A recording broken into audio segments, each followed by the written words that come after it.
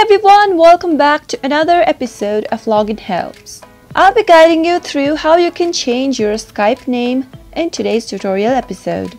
Before starting, if you are not subscribed to our channel yet, hit the subscribe button and press the bell icon so that you'll be notified as soon as we post a new video. Start by going to your Skype application and tap it open. As soon as you reach to the home screen of Skype, tap on the profile picture on the top of the screen. Under Manage section, tap on Skype Profile. You can see your name right below the camera button.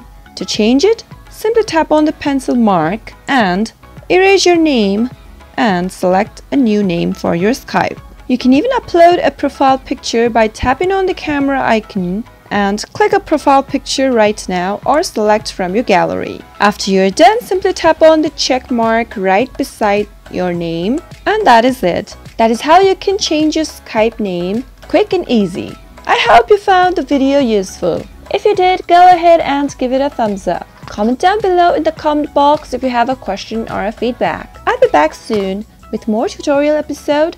Thank you for watching.